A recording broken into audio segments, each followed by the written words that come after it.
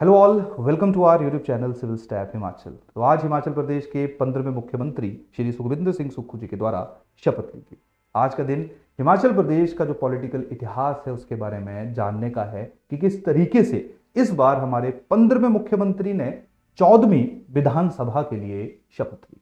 अगर हम लोग हिमाचल प्रदेश की बात करेंगे तो हिमाचल प्रदेश की फॉर्मेशन 15 अप्रैल 1948 में 30 प्रिंसली स्टेट्स के द्वारा की गई। ये 30 प्रिंसली स्टेट्स वो थी जो अपनी यूनिक आइडेंटिटी अपने यूनिक कल्चर को बचाना चाहती थी और यही कारण था उन्होंने अलग से हिमाचल प्रदेश की फॉर्मेशन की। तो हिमाचल प्रदेश शुरुआत में चीफ कमिश्नर प्रोविंस बना, जहाँ पे एक आईसीएस ऑफिसर हुआ करते थे, उन्हीं को ही सारे का सारा हिमाचल प्रदेश को संभालने का रिस्पॉन्सिबिलिटी दिया गया। लेकिन जो हमारे लोग थे, वो उससे बहुत ज़्यादा प्रसन्न नहीं थे, क्योंकि आईसीएस ऑफिसर जो है, वो कहीं ना कहीं जिस तरीके से अंग्रेज़ी एडमिनिस्ट्रेशन चला करता था ब्रिटिश एडमिनिस्ट्रेशन चला करता था, उसी तरीके से हिमाचल को चलाने का प्रयत्न कर रहे थे। बाद में जब 26 जनवरी 1950 को हमारे देश का संविधान लागू हुआ तो हिमाचल प्रदेश को पार्ट सी स्टेट का दर्जा दिया गया। पार्ट सी स्टेट दर्जा देने का सीधा सीधा मतलब था कि अब हिमाचल प्रदेश के अंदर एक विधानसभा बनेगी, एक लेजिस्लेटिव असेंबली बनेगी। और हमारे देश के अंदर उन्नीस और बावन में, क्योंकि हिमाचल प्रदेश थोड़ा सा हिली एरिया है तो वैसे तो हमारे देश में फरवरी में इलेक्शन होने थे उन्नीस फरवरी 1952 में।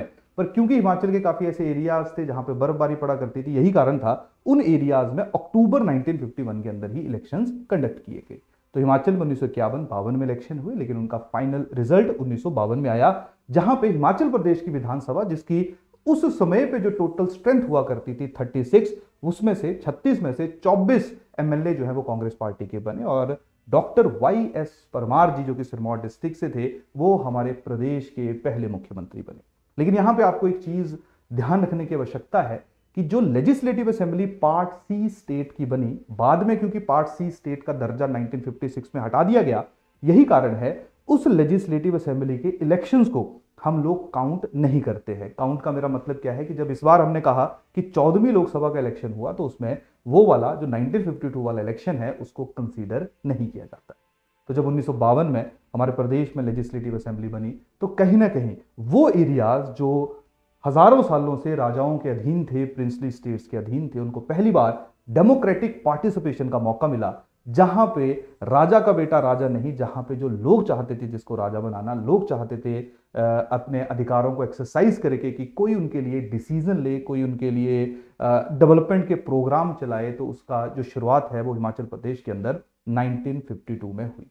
उसके बाद 1956 तक हिमाचल प्रदेश में जो विधानसभा है, वो काम करती रही। लेकिन 1956 में हमारे देश के अंदर एक रीऑर्गेनाइजेशन हुई, जहाँ पे जो ये part A part B part C part D states थी, इनके दर्जे को खत्म कर दिया गया और हमारे पूरे के पूरे देश को स्टेट्स एंड यूनियन टेरिटरीज में डिवाइड किया गया।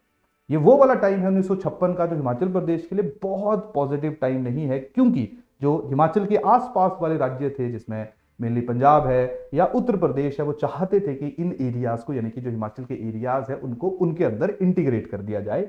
लेकिन स्टेट रीऑर्गेनाइजेशन कमीशन के द्वारा उस डिमांड को नहीं माना गया और हिमाचल प्रदेश को पूर्ण राज्य का या हिमाचल प्रदेश को स्टेट का दर्जा तो नहीं मिला, लेकिन हिमाचल प्रदेश को या हिमाचल प्रदेश की जो यूनिक आइडेंटिटी थी उसको बचाने के लिए हिमाचल प्रदेश को यूनियन टेरिटरी का या केंद्र शासित प्रदेश का दर्जा दिया गया। लेकिन हिमाचल को नुकसान यहाँ पे क्या हुआ कि हिमाचल प्रदेश के अंदर जो विधानसभा बनी थी पार्ट सी स्टेट होने के नाते, वो अब एबॉलिश कर दी गई और जो हमारी लेजिस्लेटिव असेंबली है, उसको रिप्लेस किया टेरिटोरियल काउंसिल ने। अब देखिए टेरिटोरियल काउंसिल की अगर हम बात करें तो टेरिटोरियल काउंसिल के पास उतनी पावर नहीं थी जितनी पावर लेजिस्लेटिव असेंबली के पास हुआ करती थी। तो कहीं ना कहीं हिमाचल प्रदेश का जो पॉलिटिकल इतिहास है, वहाँ पे लोगों की जो ट्रू रिप्रेजेंटेशन है अब वो हम लोगों को उतने अच्छे तरीके से देखने को नहीं मिली। ध्यान रखिए, बहुत कम प्रदेश हमारे देश के अंदर ऐसे हैं जिनके पॉलिटिकल इतिहास में काफ़ी स्ट्रगल रहा है। नहीं तो हमने देखा कि कोई भी स्टेट जब भी डिमांड करती थी कि उसको राज्य का दर्जा दिया जाए या कोई भी एरिया डिमांड करता था तो उस डिमांड को जो वो बहुत ईजिली एक्सेप्ट किया गया। लेकिन हिमाचल प्रदेश के साथ जो है वो हम लोग ऐसा नहीं देखते हैं। शायद इसका सबसे बड़ा कारण था कि हिमाचल प्रदेश का जो साइज़ था वो बहुत ज़्यादा बड़ा नहीं था। और उसके साथ साथ उस स्पेसिफिक टाइम पे जो हमारी केंद्रीय सरकार थी, वो बड़े राज्यों के फेवर में थी और उसके साथ साथ वो चाहती थी कि कोई भी राज्य तब बने जब वो फाइनेंशियली सेल्फ रिलायंट हो, अपना खर्चा खुद चला सके, उसके पास रिसोर्सेज हो, उसके पास एडमिनिस्ट्रेटिव बायबिलिटी हो तो कुछ ऐसे ग्राउंड्स थे जो शायद उस समय पे हिमाचल प्रदेश फुलफिल नहीं करता था। यही कारण था, उन्नीस सौ छप्पन में हिमाचल प्रदेश जो है, उसको यूनियन टेरिटरी का दर्जा दिया गया।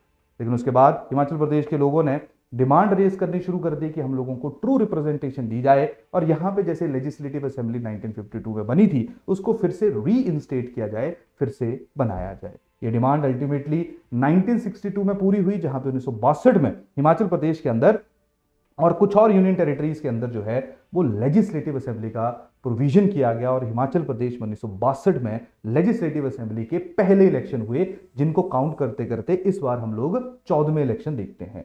नो डाउट बीच में हिमाचल प्रदेश जो है, उसको स्टेट का भी दर्जा मिला, लेकिन हिमाचल प्रदेश में जो प्रॉपर इलेक्शन की शुरुआत है, वो 1962 से कंसीडर की जाती है, जहाँ पे doctor Y S Parmar ji हमारे प्रदेश के फिर से मुख्यमंत्री बने, या हमारी जो यूनियन टेरिटरी केंद्र शासित प्रदेश था, उसके फिर से मुख्यमंत्री बने। उसके बाद 67 में 72 में फिर से doctor Y S Parmar ji के द्वारा जो है, वो कांग्रेस पार्टी, अब फिर से वाई एस परमार जी जो है, वो हमारे प्रदेश के मुख्यमंत्री बने। उसके बाद उन्नीस सौ सतहत्तर में 1977 में कांग्रेस पार्टी पहली बार इस इलेक्शन को हारी और जनता पार्टी ने अपनी सरकार बनाई। शांता कुमार जी पहले non Congressian chief minister of Himachal Pradesh बने।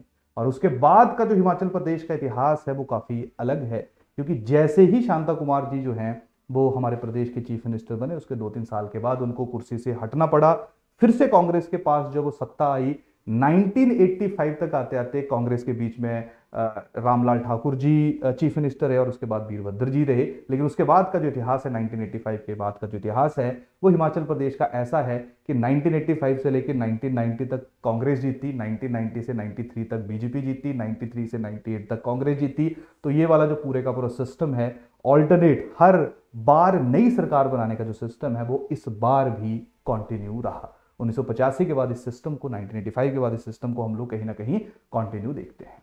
लेकिन यहाँ पे एक चीज़ गौर करने योग्य है, वो क्या है कि जो कांग्रेस पार्टी है, वहाँ पे जितने भी चीफ मिनिस्टर आज तक बनाए गए, चाहे श्री वीरभद्र जी हैं जी हैं, या जी थे, या डॉक्टर रामलाल ठाकुर, या फिर वाई एस परमार जी थे, ये सारे के सारे जब उन एरियाज़ को बिलोंग करते थे, जो ओल्ड हिमाचल ओल्ड हिमाचल का मतलब क्या है कि वो हिमाचल जो 15 अप्रैल 1948 को जिसका गठन किया गया था।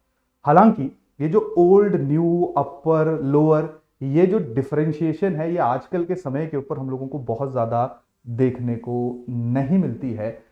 इसका सबसे बड़ा कारण ये भी है कि शायद आजकल जो राजनीति है वो थोड़ी डिफरेंट है, लेकिन कोई समय ऐसा भी था जहाँ पे सीधा सीधा जो ओल्ड एरियाज़ और जो न्यू एरियाज़ है, उनके बीच में जो है वो हम लोगों को डिफरेंस देखने को मिलता था। और ये जो ओल्ड और न्यू एरियाज़ हैं, इसके पीछे की कहानी भी मैं आप लोगों के साथ ज़रूर शेयर करूँगा।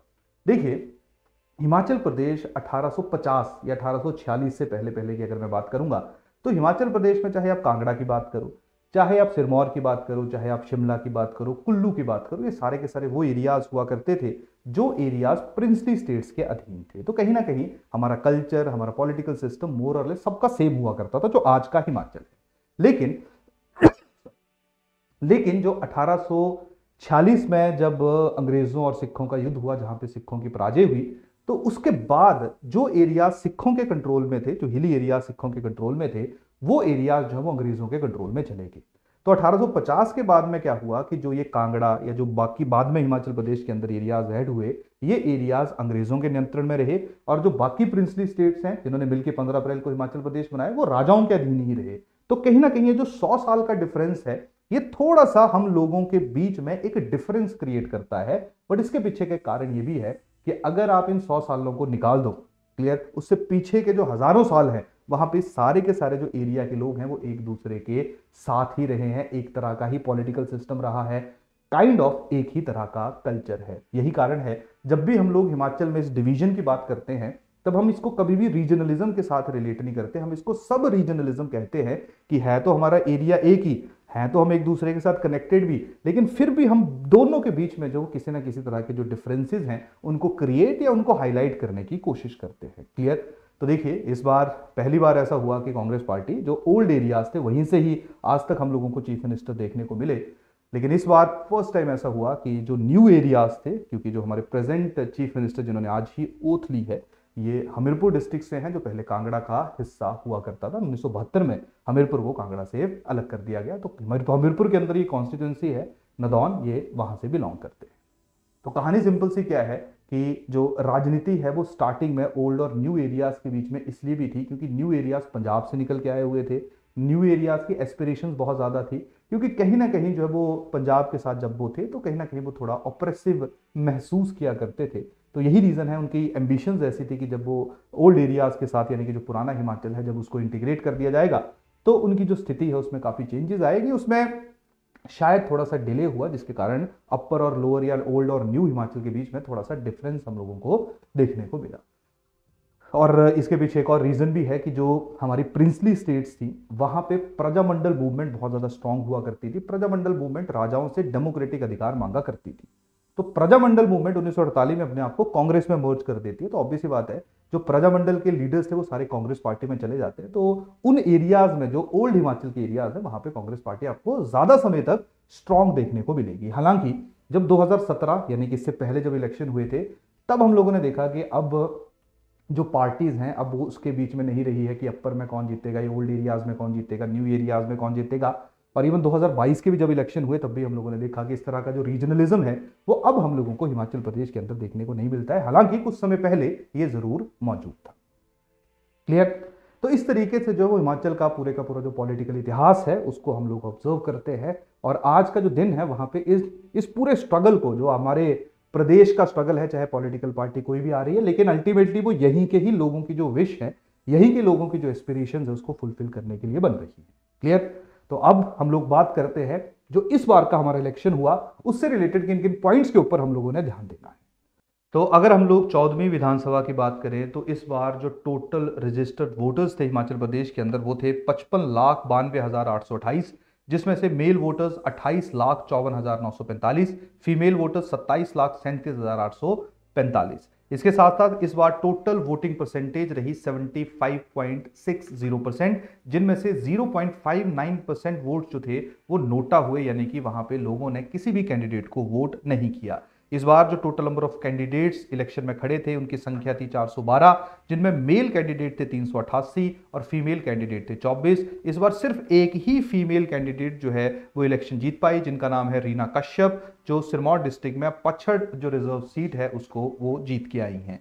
इसके साथ साथ highest polling booth of the world की मैं बात करूँ, जो कि हिमाचल प्रदेश के अंदर मौजूद है। इसका नाम है तशीगांग, जो लाहौल एंड स्पीति के अंदर हमें देखने को मिलता है, जिसमें टोटल 52 वोटर्स हैं और इस बार बावन के बावन वोटर्स जो है वो उन्होंने इलेक्शन में पार्टिसिपेट किया। तो 100 परसेंट वोटिंग परसेंटेज जो है वो हम लोगों को तशीगांग में देखने को मिली। इसके साथ साथ हिमाचल का जो सबसे छोटा पोलिंग स्टेशन है, उसका नाम है का, जहाँ पे टोटल 16 वोटर्स जो है वो रजिस्टर्ड है। 16 वोटर्स में से 14 वोटर्स ने जो है वो अपना वोट कास्ट किया और इसके अलावा जो वहाँ पे मौजूद चार सिक्योरिटी पर्सनल्स थे, उन्होंने भी अपना वोट वहाँ पे डाला। यानी कि एक ऐसा बूथ जहाँ पे 16 वोटर्स रजिस्टर्ड हैं, वहाँ पे 18 लोगों के द्वारा जो वो वोट डाला गया। तो इस बार 112.5 परसेंट जो है वो वहाँ पे वोटिंग डली। यानी कि जितनी परसेंटेज है या जितने लोग उनसे ज़्यादा लोगों ने इस पोलिंग स्टेशन के ऊपर अपना वोट कास्ट किया। इसके साथ साथ अगर हम लोग बात करें तो भारतीय जनता पार्टी को 25 सीट्स मिली। 43 परसेंट वोट शेयर के साथ इंडियन नेशनल कांग्रेस को 40 सीट्स मिली 43.9 वोट परसेंट वोट शेयर के पास। आम आदमी पार्टी को ज़ीरो सीट मिली 1.10 परसेंट वोट के साथ। बहुजन समाज पार्टी को ज़ीरो सीट मिली, लेकिन ये 53 सीट्स के ऊपर लड़ी थी। राष्ट्रीय देवभूमि पार्टी जो है उसको ज़ीरो सीट मिली, ये 29 सीट्स के ऊपर लड़ी थी। Communist Party of India Marxist जो है वो ज़ीरो सीट उसको मिली 11 सीट्स के ऊपर ही लड़ी थी और 0.66 परसेंट जो इसको वोट मिले। क्लियर तो इस तरीके से जो है वो आप लोगों को पूरे का पूरा जो हिमाचल है, वहाँ पे वोटिंग परसेंटेज के बारे में आइडिया होना चाहिए। अगर मैं बात करूँ इलेक्शन के बाद ओल्डेस्ट एमएलए की, जिनकी जो एज है वो सबसे ज़्यादा है, उनका नाम है धनीराम शांडिल। सोलंग कॉन्स्टिट्यूंसी को रिप्रेजेंट करते हैं 82 ईयर्स जो इनकी एज है। इसके साथ साथ यंगेस्ट एमएलए हैं चैतन्य शर्मा, जो गगरेट से हैं 28 ईयर्स के हैं। इसके साथ साथ इस बार जो शेड्यूल कास्ट के लिए टोटल सीट्स रिज़र्व थी, वो हैं सत्रह, जिनमें से बारह सीटें कांग्रेस के द्वारा जीती गई। शेड्यूल ट्राइब्स के लिए जो रिज़र्व सीट्स हैं हिमाचल प्रदेश के अंदर, वो है तीन, जिनमें है लाहौल एंड स्पीति, किन्नौर और तीसरी है भरमौर। इन तीनों में से लाहौल, स्पीति, किन्नौर जो है वो कांग्रेस पार्टी के द्वारा जीती गई। अगर हम लोग बात करें मार्जिन का, यानी कि जहाँ पे विक्ट्री मार्जिन जो वो सबसे नैरो और सबसे ज़्यादा रहा तो सबसे नैरो विक्ट्री मार्जिन रहा हमीरपुर के अंदर एक भोरंज कॉन्स्टिट्युएंसी है। वहाँ पे सुरेश कुमार कांग्रेस के जो है, उन्होंने बीजेपी के जो कैंडिडेट हैं, उनको 60 वोट से हराया। जो सबसे बड़ा मार्जिन रहा, जहाँ पे सबसे ज़्यादा वोट से कोई जीता, वो है हमारे प्रदेश के पूर्व मुख्यमंत्री, जिनका नाम है जयराम ठाकुर, जिन्होंने चेतराम को अठतीस हज़ार एक सौ तिरासी वोट से हराया और ये हराया इन्होंने अपनी कॉन्स्टिट्युएंसी सिराज से। इसके साथ साथ जो तीन इंडिपेंडेंट एमएलए हम लोगों को इस बार देखने को मिले, उनमें हैं होशियार सिंह, जो देहरा से हैं, पिछली बार भी जीते थे, के एल ठाकुर, नालागढ़ से, आशीष शर्मा, हमीरपुर से। तो इस तरीके से जो वो हिमाचल प्रदेश में हम लोगों को पूरे का पूरा सिस्टम देखने को मिला। अगर हम लोग बात करें परसेंटेज वाइज तो इस बार, जैसे मैंने आपको थोड़ी देर पहले बताया, कि जो टोटल वेट वोटिंग परसेंट है, वो 75.60 परसेंट है, जो हाईएस्ट वोटिंग परसेंट है पिछली, या पिछली साल, पिछली बार के मुकाबले ज़्यादा है तो जो डिस्ट्रिक्ट जिसमें सबसे ज़्यादा हमें वोटिंग परसेंट देखने को मिला, वो डिस्ट्रिक्ट है सिरमौर, जहाँ पे 79.91 परसेंट जो है वो वोट डले, और जो लोएस्ट हम लोगों को देखने को मिला तो लोएस्ट जो है वो है कांगड़ा डिस्ट्रिक्ट के अंदर सॉरी लोएस्ट है हमीरपुर डिस्ट्रिक्ट के अंदर, जहाँ पे हमें 71.80 परसेंट वोट जो है वो देखने को मिले। तो ये हमारे जो इलेक्शंस थे इस बार की, उनकी हाईलाइट थी। तो जैसे ही बाकी जो इन्फॉर्मेशन है सरकार बनने से रिलेटेड रिलीज़ की जाएगी तो वो भी हम आप लोगों के साथ शेयर करेंगे। तो इसी के साथ आज के सेशन को मैं कर रहा हूँ खत्म। मिलते हैं जल्दी ही, तब तक के लिए बहुत बहुत धन्यवाद। Thank you